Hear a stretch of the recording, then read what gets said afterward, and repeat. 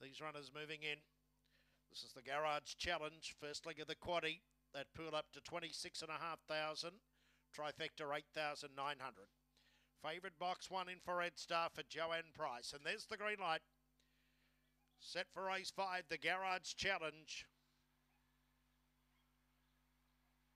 Racing, infrared star away, well off the inside, is pushing through and will go to the early lead. Spotted Wolf is handy with Amber Marie, running through behind them. Then was Kendall. Wider out was Dynamite Lucy going forward. Elusive Star, Miss Gin and Ebony Miss last of all. 982 early into the back and infrared star. Three in front over Amber Marie. Three away Kendall, followed by Spotted Wolf. Then came Dynamite Lucy ahead of Elusive Star. Well back Miss Gin and Ebony Miss, but it's all infrared star coming to the turn leads by six lengths.